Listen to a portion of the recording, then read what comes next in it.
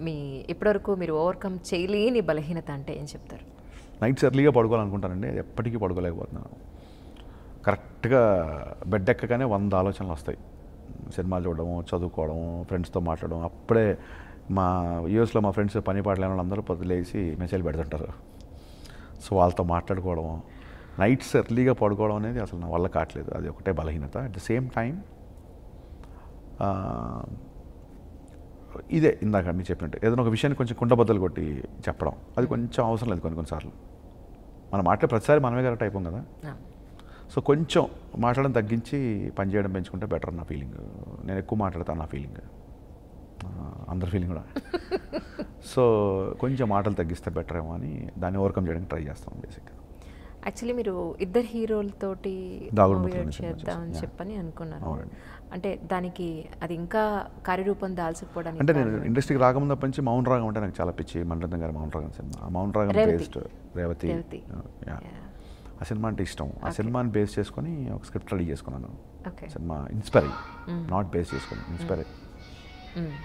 అయితే ఎక్కడో ఇద్దరు హీరోల్ని ఇద్దరు హీరోయిన్ని ఆన్ బోర్డ్ తీసుకురాలేకపోయాను. అది వర్కౌట్ అవ్వలేదు. అది ఎప్పటికైనా అది చేయాలనుకుంటున్నాను చేయాలి మనసులో ఉంది. Hundred percent. Hundred percent hmm.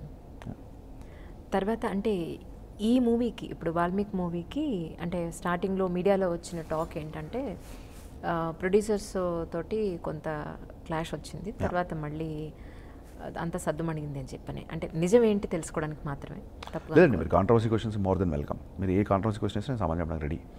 ఇప్పుడు ఏమవుతుందంటే స్మార్ట్ ఫోన్లు వచ్చిన తర్వాత ఎవ్రీ ఐదు నిమిషాలకు ఒకసారి వాళ్ళు కిందికి లాగుతూ రిఫ్రెష్ అవును. సో ఫస్ట్ ఉన్న న్యూసెస్ రెండోసారి ఉంటే ఆ లాగినోడు డిసప్పాయింట్ అయిపోతాడు. So there are hundreds of websites there are hundreds of channels YouTube channels. So ఎక్కడో ఏదో ఛానల్స్లో ఏదో వెబ్సైట్లో వచ్చింది అనే దానికి. ఇంకా సమాధానం చెప్పుకుంటూ పోతే మన ఇంటర్వ్యూ టైం సరిపోదు. ఇందాకే మా ప్రొడ్యూసర్స్ అందరం కలిసి రాఘవేంద్ర గారి షో చేసాము సాంగ్ లాంచ్ చేసి వస్తున్నాము. ఆ ప్రొడ్యూసర్లతో నాకు సంబంధాలు చాలా చాలా బాగున్నాయి. ఇప్పుడు నేను ఇస్తే ఇది ఎక్స్ప్లెనేషన్ అయిపోతుంది ఆ న్యూస్కి నేను Yeah. ఇంపార్టెన్స్ ఇచ్చిన అవుతాను. So there are like immense అంటే మీరు హరీష్ ఏదైనా బయటికి మాడతాడు అని తెలిసిన వాళ్ళు కూడా ఇది అంటారు. నేను ఏదైనా బయటికి మాడుతున్నప్పుడు నాకు ప్రొడ్యూసర్తో ప్రాబ్లం ఉంటే అవునండి వీళ్ళు చాలా ఇబ్బంది పెట్టారని చెప్పేస్తాను. ఇప్పుడు ఇందాక నన్ను ఇబ్బంది పెట్టిన ఒక డైరెక్టర్ ఉన్నానని చెప్పేశాను. అవును నేను పేర్లు చెప్పకూడదండి. ఈ మధ్య ప్రొడ్యూసర్లు ఎలా ఉన్నారో తెలుసా అని కూడా నేను చెప్పొచ్చు. ఉంటే చెప్పేస్తాను డైరెక్ట్గా so I don't think I mean I need to answer all the rumours అంటే మీరు ప్రొడ్యూసరు లేదంటే ఐ మీన్ సారీ మీరు డైరెక్టరు ఒక రైటరు ఒక ఫిల్మ్ ఇండస్ట్రీ పర్సన్ అని తీసి పక్కన పెడితే ఫస్ట్ మీరు ఒక సిటిజన్ అంతే కదా? రైట్. సో ఈ పాయింట్ ఆఫ్ వ్యూలో ప్రజెంట్ మీడియా మీద మీకున్న అభిప్రాయం ఏంటి? అంటే చాలా వెబ్ ఛానల్స్ అయిపోయాయి. ఇప్పుడు సపోజ్ ఫర్ ఎగ్జాంపుల్ ఈరోజు మీ ఇంటర్వ్యూ తీసుకుంటున్నాం. యాక్చువల్లీ వాళ్ళు రారు మీ దగ్గరికి ఇంటర్వ్యూకి ఈ ఇంటర్వ్యూ చూసి వాళ్ళు ఇంకేదో క్యాప్షన్ పెట్టేసి ఇంకేదో విజువల్ యాడ్ చేసేసి మేము రెండు మూడు ఫోటోలు పైన క్యాప్షన్ మాత్రం స్ట్రిప్ మాత్రం వేస్తారు. లోపల ఉండే ఇన్ఫర్మేషన్ వేరు. ఇలాంటి ఒక ఫేక్ ఇన్ఫర్మేషన్స్ వచ్చే ఛానల్స్ చాలా ఎక్కువైపోయాయి. సో అలాంటి వాటి గురి- గురించి కానీ మీడియా బాధ్యత గురించి కానీ మీరేమనుకుంటున్నారు? ఫేక్ అని మీరే అంటున్నారు కదా. ఫేక్ పర్సన్స్ని ఎప్పటికైనా అండి చెడ్డ వ్యవస్థ ఉండదండి. చెడ్డ మనుషులు ఉంటారు. కరెక్ట్ చెడ్డ వ్యవస్థ ఉండదు. మీడియా అనేది వ్యవస్థ.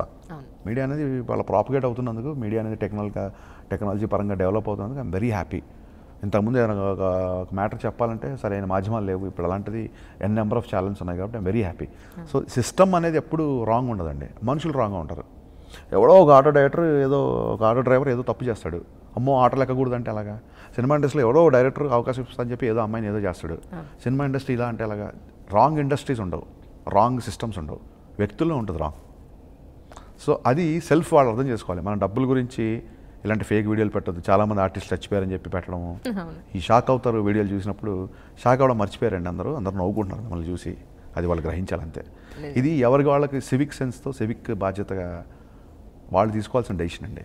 అంతే. దీన్ని మనం కరెక్ట్ కూడా చేయలేము బేసిక్గా it is it is not in our control బేసిక్గా ఇకపోతే ఈ వాల్మీకి మూవీకి సంబంధించి ఒక తమిళ్ మూవీని మీరు అందులో కొన్ని పాయింట్స్ తీసుకుని ఇది మళ్ళీ మీరు చేయడానికి ముఖ్య కారణం అంటే ఆ సినిమా బాగా నచ్చిందండి. ఆ సినిమాకి చాలామంది ఫ్యాన్స్ ఉన్నారు.